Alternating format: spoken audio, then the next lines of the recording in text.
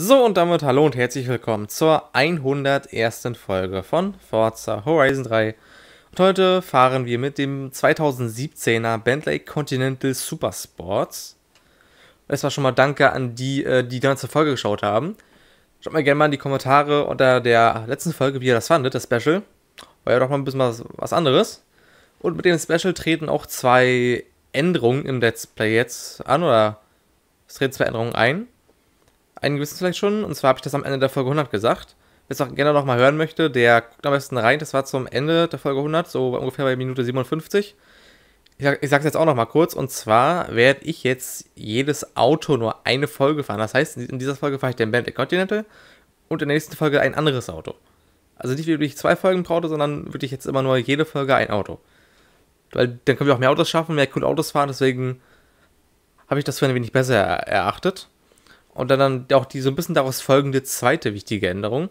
Wir werden jetzt mit den Autos keine Meisterschaften mehr fahren. Also voraussichtlich. Weil erstens in einer Folge, da schaffst du keine vier Rennen. Also ich zumindest nicht. Kann ich schaffen nicht. Wenn ich, wenn ich jetzt hier einfach den Teil nicht zeigen will, einfach nur losfahren würde, das würde gehen. Also ich ja nicht machen, weil nach dem Wagen ist ein bisschen fahren und sowas. Und alles, was dazugehört. Und nicht einfach nur so jetzt ins Rennen springen und vier Rennen fahren und fertig ist. Das würde ich, bisschen, das würde ich ein bisschen doof finden. Aber mit jedem Wagen keine Rennen fahren, das ist jetzt nicht gesagt, aber keine Meisterschaften. Vielleicht ein oder zwei Rennen in der Folge, das kann man vielleicht mal machen. Also eine Rennen würde ich, mal, würde ich mal sagen sowieso. Mal zu gucken, wie sich der Wagen so mit der Konkurrenz verhält. Aber ja, das wollte ich mal nur mal kurz sagen. Ja, und heute hier mit dem Bentley, der war ja in einer der letzten Forza-Tanzen mit bei. Das war für euch, glaube ich, wirklich einer von der, über einem Monat oder so, ich weiß gar nicht. Weil die Folge nämlich jetzt gerade hier am 20.03. auf, also schon ein wenig früher. Aber erstmal, was, was mir schon mal ganz spontan über den Wagen einfällt, der sieht schon geil aus, ne?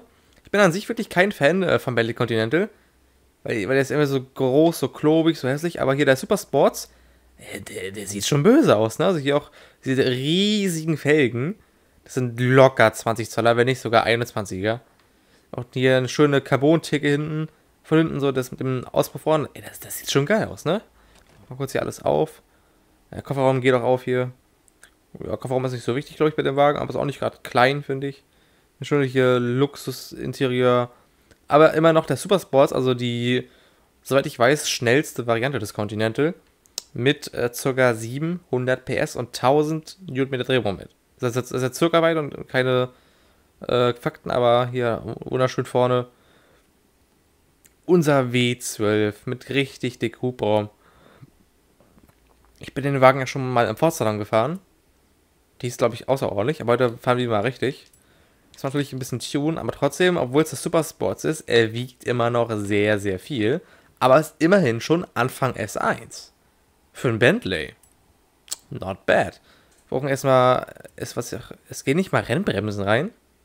Uh, das ist aber, das ist ziemlich komisch. Naja, soll der Wagen anscheinend gut bremsen. Auch 9,9 startende Allrad, nicht schlecht. Aber es geht tiefer. Und wie ihr wisst, tiefer finde ich immer besser. Also zu 99,99%. Ich Stabis gehen auch mal, auch mal rein. Dann das äh, Gewichtsproblem. Gewichtsreduktion geht natürlich, denn der Wagen wiegt aktuell 2271 71 Kilo. Das ist doch nicht viel. Ja, 522 kW, das sind ein bisschen über 700 PS und 1017 Newtonmeter Drehmoment. Das sind 6 Liter W12. Kann man machen, ne? Aber immer noch 2,3 Tonnen, da würde ich sagen, geht weniger. Und ich weiß gar nicht, welche wir reinmachen. Ich würde sogar fast äh, zu der besten tendieren. Wir können da 500 Kilo rausschmeißen. Ich mache erstmal so. Ich mache erstmal die mittlere. Also wenn ich so unter 2 Tonnen komme, dann reicht das. Dann Renngetriebe muss ja alles rein. Kupplung, Antriebswelle. Ein Diff baue ich auch mal rein. Ich meine, der Wagen sollte auch unter. Ja. Ich werde wohl die Rennen, das Ding erstmal gucken, was hier bei der Aerodynamik ist.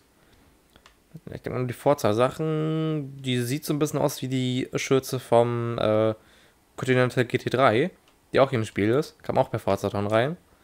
Und die Frittentheke könnten wir auf eine hässliche Forza-Theke machen oder abmachen, aber wieso abmachen, ja? Ich finde, die sieht geil aus. Auch Bände mit Spoiler ist auch mal was Neues. Kann man auch selten sogar, wenn ich jetzt gerade nicht äh, mich komplett irre, der stärkste Serien-Bentley. Also abgesehen von irgendwelchen Rennwagen ist es der Bentley mit den meisten Pferdchen. Hat damit auch äh, ist ungefähr so stark wie ein Lamborghini Aventador. Und das heißt schon was, ne? Ach komm, wir machen noch das Rennding hier rein. Regenwichtsreduktion. Weil die Karre, die, ich meine, 2010 Kilo, das ist einfach, das ist zu fett. Mein 1,7 ist immer noch gar nicht mal so leicht, aber ist schon mal ein bisschen leichter. So, die Felgen, ich. Die gehen sogar nicht mal größer tatsächlich. Ich würde sagen, die kann man sogar lassen. Ich finde die geil. Die hat schon mit diesen fünf großen Speichen. Das, das sieht irgendwie cool aus. Aber die Reifen ja noch breiter. Wir haben hinten süße 275er. Und können machen auf. Das fand ich schon besser, 305er. Sieht aber gar nicht mal so breit aus. Und dann nach vorne auch von 275er, auch 305er, denke ich mal. Jep, das machen wir auch mal. So, bessere Reifen. Ich. Ich weiß nicht. Ne, wir lassen die Reifen mal so. Ja, wir probieren es einfach mal. Sonst ist der Wagen fertig, nur die Farbe gefällt mir noch nicht. Muss auf jeden Fall geändert werden. Und äh, mir ist so angekommen, dass der Bentley irrsinnig viele Farben hat. Mal gucken, ob da auch gute mit bei sind für uns. Weil dieses, was ist das für eine Farbe? Ist das so ein Orange oder das sieht, äh, ich will jetzt nicht sagen, aber es sieht wirklich scheiße aus. Oder so ein, was ist das, so braun, orange, irgendwie so. Und ach du Scheiße. Ah ja. Ein paar Farben haben wir hier. Natürlich hier klassisches Weiß, was auch geil aussieht. Auch vorne auf dem Motor diese Lufteinlässe. Oh, hab ich ja gar nicht gesehen. Wie dieses Art Body Kit, ey, das sieht schon böse aus, ne? Also Bentley, der, der macht so halbwegs ernst. Ja, mit 2,3 Tonnen Gewicht macht er nicht so ganz ernst, aber uh, sieht auch so ein bisschen aus, jetzt glaube ich, wie der, ein Wagen aus GTA 5. Also, GTA 5 Online. Ich weiß gar nicht, wie der heißt, aber ihr kennt ihn sicherlich, wenn ihr das gespielt habt. Oh, in mattgrau sieht auch böse aus. Die Farbe gefällt mir auch. Mir gefallen ja, glaube ich, viele Farben sehr gut. Ganz schwarz wäre langweilig. Dann machen wir den Wagen nicht. Obwohl. Das Blau. Ja. Hm, ja. Hm. Also bei so vielen Farben ist die Entscheidungsfreiheit natürlich riesig. Die Auswahl. Obwohl, so ein Rennorange. Also Anführungszeichen Rennen. Ich würde sagen, der, Wagen, der muss irgendwie rot, oder? Das Bedürfnis, den Wagen rot zu machen. Dann machen wir den so rot-schwarz. Und ich guck mal bei den normalen Farben. Das ist schon eher so in die Richtung dunkelrot. Äh ja. Mach mal hier bei 02. Vielleicht noch ein bisschen dunkler. Nee, nicht ganz so dunkel. Ich weiß, sieht das so geil aus? Also ich finde, irgendwie hat das schon was, ne? Irgendwie mag ich das auch. Wir machen es erstmal so. Die Felgen, die werden natürlich noch gefärbt, obwohl die so auch nicht schlecht aussehen, aber ne, also das muss ja dunkel und ich würde sagen. Ach lol. Sind da noch so schwarze Dinger mit drin, habe ich ja gar nicht gesehen. Das ist. Das ist mir wirklich erst jetzt aufgefallen, dass es nicht nur fünf Speichen sind, also diese fünf großen und auch noch ganz viele Kle Alter, hab ich ja gar nicht gesehen. Ah. Oh, so, ich würde sagen, das sieht jetzt auch nicht verkehrt aus, ne? Aber es sind locker so 20 Zoll oder 21, ja, so schon nicht gerade kleine Felgen, aber es ist auch ein Bentley. Ja, da kann ruhig mal ein bisschen mehr auf. Hat auch hier schön, natürlich wie die meisten Bentleys hier, ich kenne 8-Gang-Automatik. So muss das. Und der Wagen aus der nächsten Folge wird auch 8 Gänge haben. Sage ich nur schon mal so. Als kleiner Spoiler oder Teaser. Spoiler wohl nicht, weil ich spiele haben viele Autos 8 Gänge. Da ist die Auswahl auch noch relativ groß. Naja. Gucken wir mal. So, der ist hier unser wunderschöner Bentley. Der wirklich, als Bentley macht wirklich einen sehr guten Eindruck. Ich finde, das Rot, das kann man machen. Das kann man nicht machen. Uh. Ich finde auch die Rückleuchten hinten schön. Ich hab's auch so ein bisschen beim Medley erneut, beim Continental. Gibt es auch schon seit, ich glaube, über 10 Jahren mittlerweile. Durch, mit deutlich mehr Leistung und deutlich anderem Aussehen, aber die Rückleuchten, die können was. Und okay. Na, Rückwärtslicht, das ist auch mickrig, aber das ist auch egal. Ja, ich mag den Wagen vom Aussehen. Also für einen Bentley, der geht voll klar. Natürlich ist er böse und auch mega Dampf, Alter. 700 PS. Das ist schon, das ist schon nicht gerade wenig. Können wir den Wagen dann noch tiefer legen? ja, ein bisschen geht noch. Also tief, in Anführungszeichen, mit 15 Zentimetern. Das ist nicht so mega tief. Hier 0 auf 100. Alter, 3,2 Sekunden. Beim Diff machen wir sogar mal 70 hinten, würde ich mal sagen. Weil wir es können, weil es der Super Sports ist. Das Getriebe muss ordentlich kurz, aber wir gucken gleich erstmal, wie er sich so verhält. Hört sich beim ersten Hören an genau wie der ähm, Bentayga. Kann man, glaube ich, im Januar oder Februar per DLC rein. Ich glaube, Januar war es. Zusammen mit dem i8. Was Sound finde ich schon mal geil. Ist halt auch ein Bentley, ne? Das sind zwar viele, äh, hier im Spiel fast alle gleich an, aber ich finde es geil. Oh, das Rot, ne? Dieses so, so Weinrot-mäßig. Das kann was, ne? Das sieht böse aus. Ich finde, das ist echt geil. So, mal gucken. Ja. Ich würde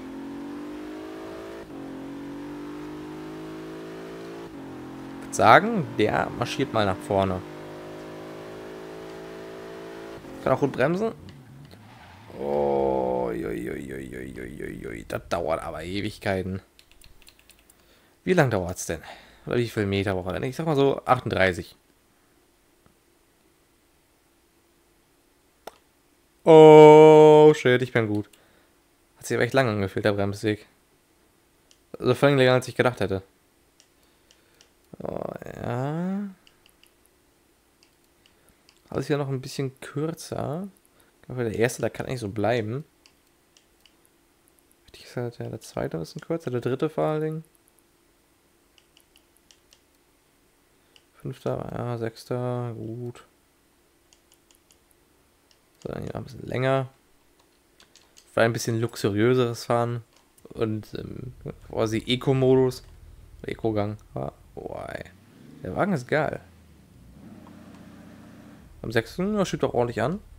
War doch mal hier aus dem Stand, wenn es geht, weil, oh, die Beschleunigung ist schon geil.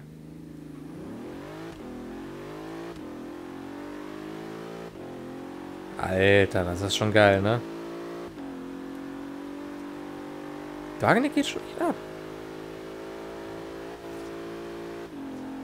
Oh ja, so mag ich das.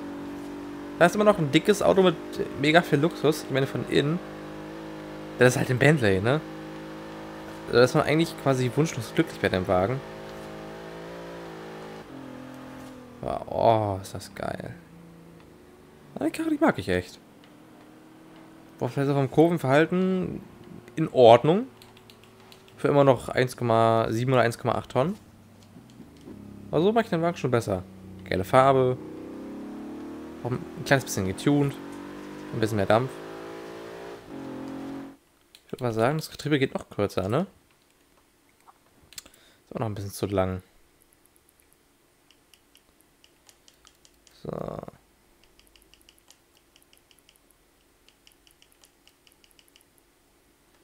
So.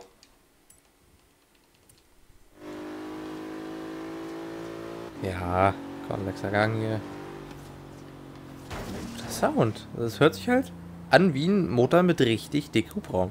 Weiß auch stimmt, ich meine 6 Liter, das ist mega viel. Dennoch bei Bentley, soweit ich, wie ich weiß, bisher auch kein Downsizing. Immer noch die guten 6 Liter W12 Motoren. Und ne, der Sound. Oh. Das kann ich den ganzen Tag machen. Immer Gas geben, vom Gas gehen. Gas geben, vom Gas gehen. Oh. Auch gleich noch einen schweren Driver da. Ach komm, ist ja nur ein Agera, ne? Schaffe ich locker.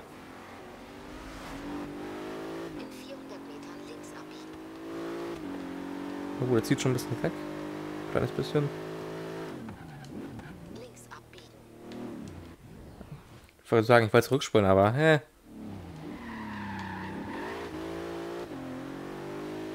Aber Verlängerung ist geil, ne? Mega schnell. Bin ja doch 700 PS. Muss das sich mal geben. 700. Stellt sich ein Aventador vor. Das ja ein ziemlich geiles Auto ist. Aber ziemlich schnell. Halt nur luxuriöser. äh, ja, britischer, größer, noch so ein bisschen so quasi der Schaff im Wolfspelz. Also man sieht, dass der Wagen die Leistung hat, das ist klar. Man sieht, dass er äh, nicht gerade 100 PS hat oder 200, dass er auch schon ein bisschen mehr ist. Aber dass er 700 PS hat, das denkt wirklich keiner. Glaube ich zumindest. Deswegen würde ich sogar sagen, Schafs am Wolfspelz. Tja. Und halt ein Königsegg Agera. Der kann nix. Ja, easy. War so ein Agera geschlagen. Wie letztens hier mit dem Go-Kart, den McLaren F1. Tja. Kauf den Continental Supersports, dann besiegst du alle, selbst ein Agera. Der auch nur 240 PS mehr hat ungefähr. Was nämlich schon peinlich ist. Okay, lag. Halte ich mal kurz an hier. Dann würde ich sagen, fahren wir mal vielleicht ein kleines Rennen. Wir können doch mal wieder Straßenrennen fahren, ne? Sind wir auch lange nicht mehr gefahren im Let's Play. Das habe ich wirklich schon sehr viele Folgen her. Alter, wie am Start abgeht im ersten Gang. Alter, warte mal kurz. Wenn ich jetzt hier so fahre, was ich bei 10 km und dann... Alter. Ich wollte mich doch verarschen. Das ist auch ohne Wheelspin. Ich habe Vollgas voll, los, losfahren ohne Wheelspin bei 10 km/h.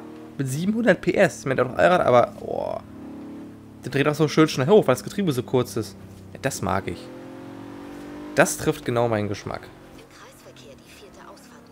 Oh, Stabettler hier. Glaube ich, der XP Speed 6 oder wie der heißt. Aber der Wagen kann auch hier schön ganz gechillt im achten Gang. Ist auch, ja, kann man auch machen, aber schalten ihn mal ein bisschen runter, ne? Oh, der Wagen, der ist sogar wirklich göttlich.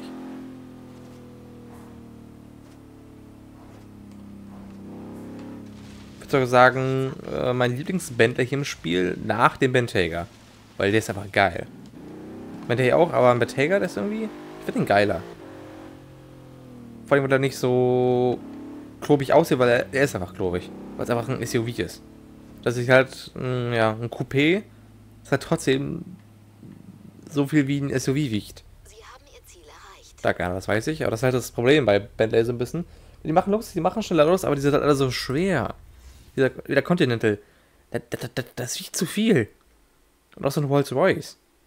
Man tut das hin und her, aber doch nicht 2, irgendwas Tonnen. In einem scheiß Coupé. Für vier Leute. Wenn da überhaupt vier reinpassen in den Bentley. Ich glaube schon, aber. Hat, das, hat der Supersports überhaupt eine Rückbank? Also jetzt mal ganz ehrlich. Weil ich glaube, es gab eine Version von dem Continental, der hatte keine Rückbank. Ich weiß nicht, ob es aber der war oder ein anderer. So, Straßenrennen, Bauhof bis Kuba Paddy Rennen. Oh, hier schön. Der Dämmerung. So, jetzt zeig mal, Bella, was du kannst. Start schon mal richtig viel. Alter.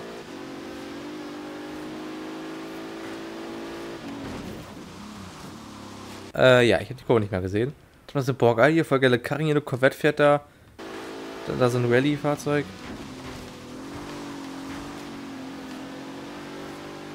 Das, was ich auch noch mal kurz sagen muss, ich habe auch die Schwierigkeit höher gestellt hier im Spiel, von Experte auf Profi. Weil Experte doch ein bisschen leicht war. Wir werden jetzt vielleicht nicht mehr jedes Rennen gewinnen, aber trotzdem ist es dann vielleicht ein bisschen spannender. Ey, du.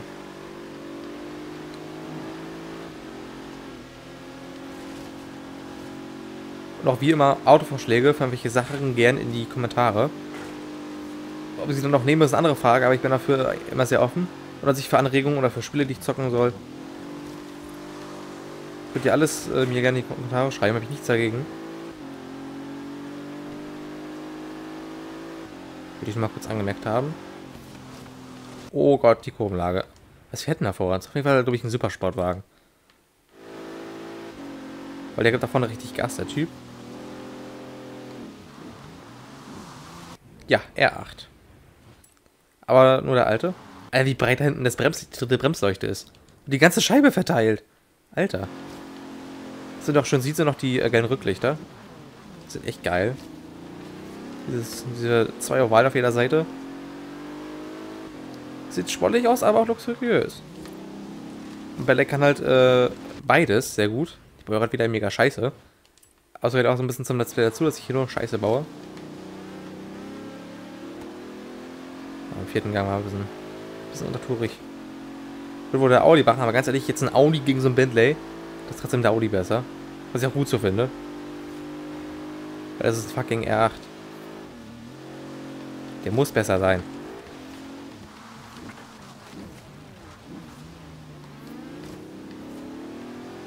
Aber nicht so gut, aber trotzdem gereicht für den zweiten bis jetzt. Finden wir jetzt auch so ein Lancia Delta S4, müsste das sein? Von Gruppe 5? Oder Gruppe B. Alter, die Kurbellage ist doch nicht so geil. Man hätte es auch vielleicht erwarten können, aber... Gut, man kann ja mal hoffen, ne? Wir haben ja immer eine halbe Tonne abgespeckt.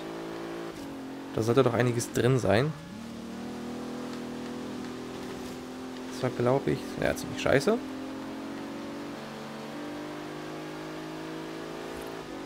Also nur für den ersten reichen. Der Anschlag kann er ja gerne fahren, aber würde mich eh nicht abziehen. Ich hier so einen geilen Bentley fahre. Aber Topspeed, Alter, der ist gut. Mit 312 durchs Ziel. Oh, das ist krass. Der Wagen ist einfach nur göttlich. Na gut. Er war erster, aber noch schneller als ich. Dann kann ich ja nichts für. Ich würde sogar sagen, ein Rennen geht noch, ne? Ich habe irgendwie Bock drauf. Und die Folge wieder, denke ich mal, so 25 bis 30 Minuten lang. Aber warum nicht? Da war ein geiles, auch Wheels drin. Bin ja schon der zweite über 500 wieder mal. So, wir gewinnen... Oh, ist aber, ist aber nett. Also quasi die Kosten fürs Tuning locker wieder reingeholt. Auch wenn es ja nicht so teuer war. Und mich juckt da eh nichts mit meinen über 20 Millionen. Alter. Komm, ein Rennen geht noch. Nehmen wir einfach mal das hier. Weil es hier nebenan ist.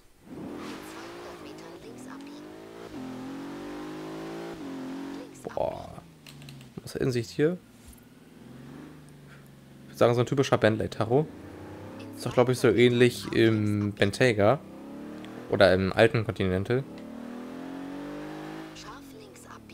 Mariana. Bin wieder zack aufs Gas. Oh, ich liebe es. Ba, ba, ba, ich liebe es. Wahrscheinlich für eine für ein gewisses großes für eine Fastfood-Kette, die wahrscheinlich jeder kennen sollte. Aber der Wagen fährt sich echt super, finde ich. Also verhältnismäßig. Immer noch ein Bentley und kein jetzt Ferrari oder Lamborghini. Auch für ein Bentley doch sehr, sehr sportlich. Und das sieht doch wirklich ziemlich geil aus. Weil auch hier die Rückleuchten, wie man gerade gesehen hat.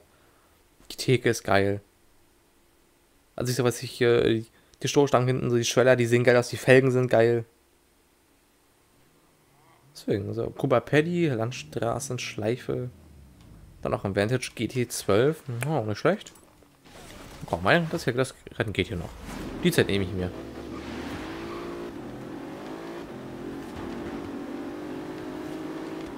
Was ist denn hier los? Alter! Was war das gerade bitte?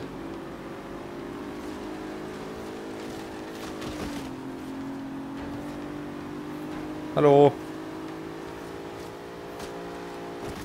Alter. Was, hä, was machst du denn da?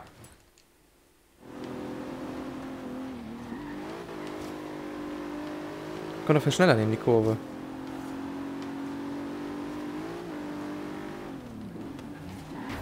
Hi.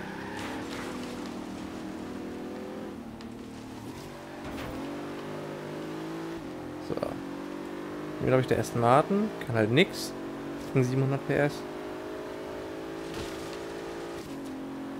Ist vorne auch noch ein Bentley? Ich kann das gar nicht sehen.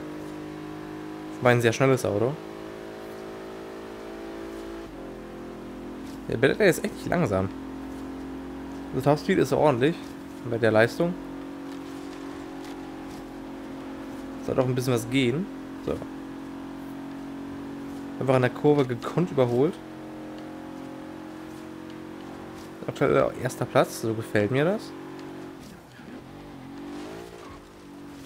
What the fuck war das jetzt gerade? Ich da gesprungen und war nicht so geil. Eigentlich habe ich ja äh, normal gelenkt, aber Kurve hatte ich auch eigentlich locker bekommen, aber so nicht ganz. Alter, Ne, da muss ich echt langsamer fahren. Weil ich da so ein bisschen äh, in die Luft komme, das schaffe ich so nicht. Mann, ich fahre doch schon langsamer, wieso geht denn das nicht? Wieder Mr. Kompetenz hier am Start. So. Man hat sich Zeit verloren. Aber ich wollte gerade sagen, den ersten Platz gebe ich nicht mehr ab. Hat sich gerade geändert.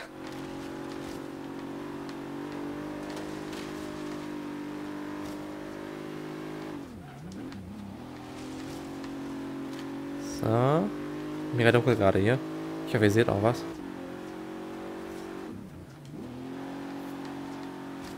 So, fährt sich gut. Natürlich ist der Allrad auch äh, einen großen Anteil dran. Den der Wagen aber auch braucht, sonst würde der gar nicht aus, aus dem Knick kommen. Knick kommen, ne? Mein Deutsch ist wieder atemberaubend.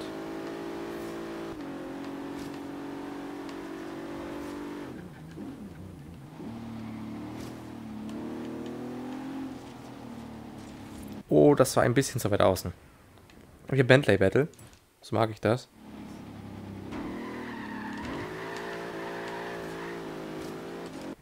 Was? Ich. Nee. Nee, nee, nee.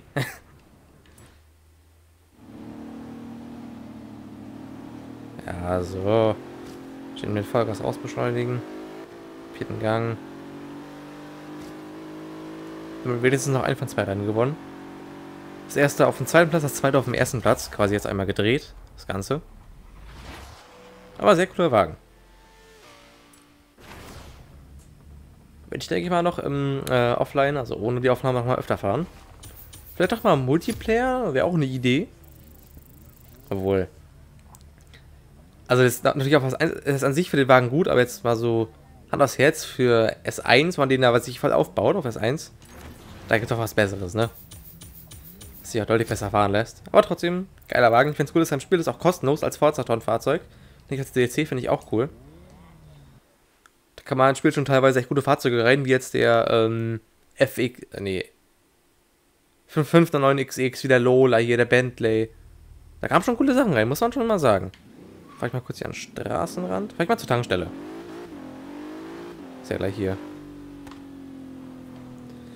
ist die Folge auch zu Ende.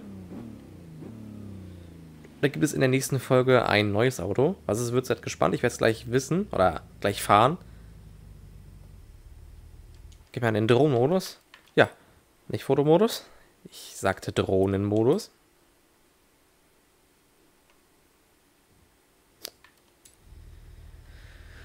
Dann bedanke ich mich an der Stelle bei euch fürs Zuschauen und hoffe, dass wir uns auch in der nächsten Folge wiedersehen. Ja, aber wirklich, ist ein geiles Auto.